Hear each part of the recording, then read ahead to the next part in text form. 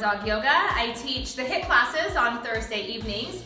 HIIT stands for High Intensity Interval Training. So you blend a little bit of fast movement with a little bit of yoga, and then you do some yoga really fast, and you do some movement really fast, and you get your heart rate up, and it's a workout like you've never had before. So today I'm gonna show you one of my favorite poses, and it involves a lot of jumping and a lot of balancing, so a lot of your core is gonna get used here.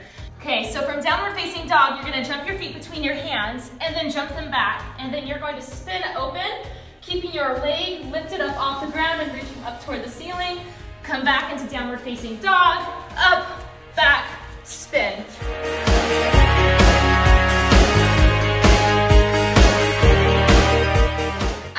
jump tuck, and now that you know how to do the jump tuck and twist, you're ready to come do HIIT. See you soon.